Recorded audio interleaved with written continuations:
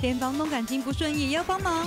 有一天我们在打麻将，然后带了一锅他那个炖好的汤这样子。女房东，女房东，她开始跟我讲说，她最近在跟她老公打离婚的官司，我还带着她去找她老公谈判。啊，了！精彩内容请看《女人我最大》。